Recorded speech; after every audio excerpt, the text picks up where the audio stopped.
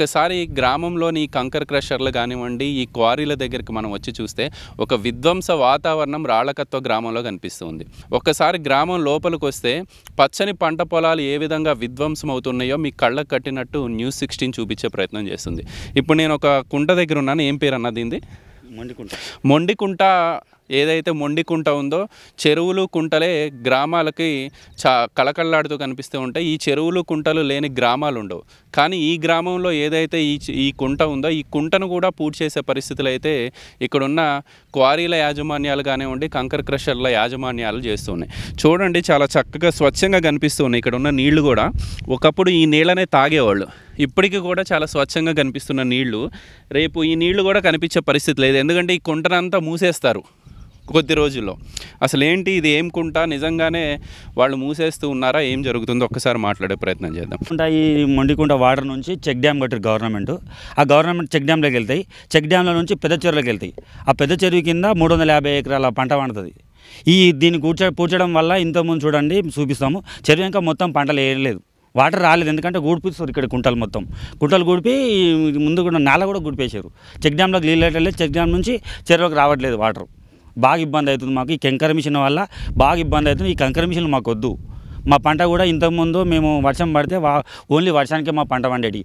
ఈ కుంట కింద కూడా కనీసం రెండు వందల ఎకరాల పంట పండుతుంది. ఈ ఈ నాలా కింద ఈ చెక్ డ్యామ్ కింద ఈ మొండి కింద కింద. ఖాళీ వర్షం పడితేనే చాలు. పదిహేను రోజుల దాకా నీళ్ళు అవసరం ఉండవు మాకు. అంత బాగా పండుతాయి. అట్లా ఉంటుంది ఈ కంకర కిషలు వచ్చి ఈ కుంట గూడిపేయడం జరుగుతుంది. మాకు నీళ్ళు రావడం లేదు. వర్షం వచ్చినప్పుడు నీళ్ళు స్టోరేజ్ ఉండట్లేదు. వెళ్ళిపోతున్నాయి ఎక్కడి అక్కడ ఎప్పుడు వర్షం పడితే అప్పుడు వెళ్ళిపోతుంది. ఈ కుంట కూడిపోవడం వల్ల మాకు పంట పండట్లేదు. మేము పోనీ ఈ పంట పంటలను బోర్లు వేసుకుంటే కూడా ఈ బ్లాస్టింగ్ ప్రెజర్కి సంవత్సరానికి ఆరు నెలలకు ఒకసారి బోర్ అటే పోతుంది. ఇరగ ఇరుకు- పోతుంది. పీకడానికి రావట్లేదు. దాన్ని అల్లనే వదిలేయాల్సి వస్తుంది. అది ఒక బోర్ వేస్తే కూడా మూడు లక్షల దాకా ఖర్చు అవుతుంది.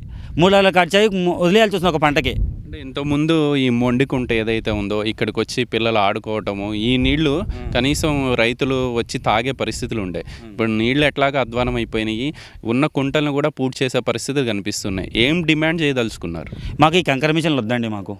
మా కంకర మిషన్లు వద్దు. మేము గోదాల కాడికి వచ్చేటప్పుడు కూడా వచ్చి ఇవే వాటర్ తాగేయాలం. ఈ బ్లాస్టింగ్ వల్ల కూడా దుమ్ము పడి కూడా ఈ పంటలు ఏం గొల్లు కలర్ ఏం వేయట్లేదు. ఈ వాటర్ తాగడానికి కూడా ఉప్పు అయిపోతున్నాయి వాటర్. బ్లాస్టింగ్ పడి దుమ్ము పడి బ్లాస్టింగ్ దుమ్ము పడుతుంది కదా. పడి ఉప్పు అయిపోతున్నాయి మేము తాగాలనుకుంటే కూడా వాటర్ ఉప్పు అయిపోతున్నాయి ఆ బ్లాస్టింగ్ వల్ల.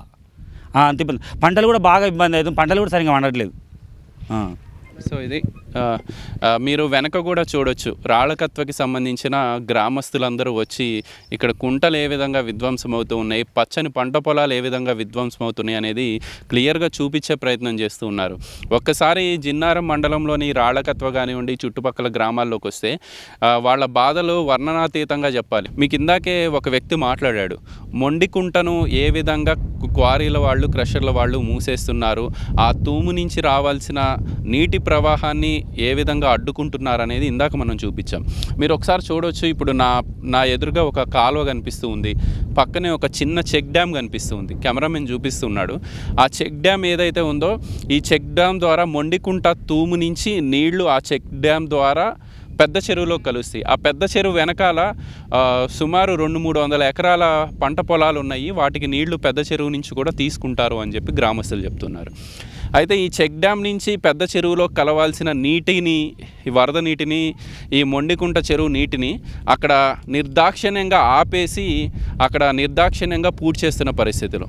ఒక పశువుల కాపరి ఉన్నారు. ఈ మేకల్ని మేకల్ని కాసుకునే ఆయన ఇక్కడ. ఈ నీళ్ళే ఈ మేకలు కూడా తాగుతూ ఉన్నాయి. నేను వచ్చి పలకరించే ప్రయత్నం చేస్తున్నాను ఎందుకంటే నీళ్ళని చూడండి ఎంత అధ్వానంగా ఉన్నాయి. ఈ దుమ్ము ధూళితో కూడిన నీళ్ళులాగా కనిపిస్తున్నాయి.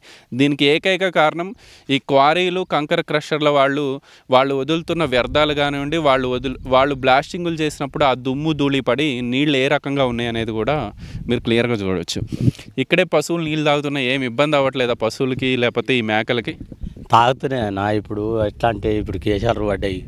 ఆ మొత్తం పొలాలన్నీ తీసేసిర్రు. మొత్తం కాలువలు జడగొట్టేస్తారు ఆ మళ్ళా బ్లాస్టింగ్ చేసినప్పుడు ఆ దుమ్ము ఆ మందు కెమికల్ అనేది వచ్చి పడి నాశనం అవుతున్నాయి జీవాలన్నీ ఖరాబ్ అవుతున్నాయి మాకు పశువులకు కూడా చాలా ఇబ్బంది అయిపోయింది. ఇప్పుడు మాకు ఉన్నదే ఇది జరంత. ఫారెస్ట్ వాళ్ళు రాణిస్తలేరు. పరంపో ఉంది పరంపోవులో మెప్పుకోవాలని వాళ్ళు అంటారు పరంపోవులకు మెప్పుకుందామంటే ఈ కేశాల వచ్చి మొత్తం అంతా పాడు చేస్తారు ఇప్పుడు నీళ్ళు రాకుంటే ఇప్పుడు మండుకుంట నుంచి ఇండ్లకు ఒక కటకాల చేసిరు ఆ తూము నుంచి చెర్రకు వస్తాయి. చెక్ డ్యాంలో పడతాయి చెక్ డ్యామ్ నుండి పెద్ద చెర్రకు పోతాయి. పెద్ద చెరువు ఇంకా. పంటలు చేసుకుందామంటే ఇప్పుడు కాలువలు అడ్డం చేసి మొత్తం అవి ఎక్కనో వడగొట్టేస్తారు తెంపేసి మళ్ళీ పెద్ద పెద్ద పొక్కలు పెట్టి అవి ఆపేసి నీళ్ళు చెర్రకు రాకుండా చేస్తారు చేసింది కాక మళ్ళీ ఇప్పుడు మొన్న ఈడ సాపు చేసిరు పెట్టకూరి భయ మాకు కాలువనన్న పోని చెర్రకు నీళ్ళు కాంటే కాలువ ఉండదు ఏది ఉండదు అని చెప్పి మొత్తం తీసేసారు గిట్లా చేస్తే మాకు ఓదలు బలరు మేకలు మాకు బతికేది గీదాంతో ఉన్నది గీ ముత్తమాత ఇక తాగుదామంటే ఈ నీళ్ళు గిట్లా ఖరావు ఖరావు నీళ్ళు. కెమికల్ బ్లాస్టింగ్ చేసినప్పుడు మొత్తం. పిట్టెలు నమిళ్ళు పశువులు అన్నీ నోరులేని పశువులు కూడా మస్తు చచ్చిపోతున్నాయి. నీళ్ళు లేక. మనం అంటే ఈ నీళ్ళు చూసి ఆగిపోతాం. అరే నీళ్ళు మురిగ్గా ఉన్నాయి మేకల పరిస్థితి ఏమన్నా గతంలో చనిపోయినాయా? ఎట్లా? పోయినాయి. చచ్చిపోయినాయి. మస్తుగా చచ్చిపోయినాయి. నమిళ్ళు కూడా చచ్చిపోయినాయి ఇట్లా బట్టి బ్లాస్టింగ్ చేసి అడ్డమైన నీళ్ళు తాగడానికి బ్లాస్టింగ్ చేసి ఇప్పుడు వాటికి ఏమేరక ఇప్పుడు ఏమో చెట్టు మీద కూర్చుంటుంది బ్లాస్టింగ్ చేసినప్పుడు వచ్చి పాడే. చచ్చిపోయాయి అట్లా. మీకు పెద్ద మనుషులకు చెప్పినాము ఊర్లకు చెప్పినాము అందరు పట్టించుకుంటలేరు ఎవరు చెప్పినా కానీ ఇప్పుడు గ్రామస్తులను కాదని కూడా వాళ్ళు వచ్చి పెడతానే ఉన్నారు చేస్తూనే ఉన్నారు. మాకు బతుకంతా ఆగమవుతుంది ఏం చేయాలి? ఎక్కడ పోవాలి?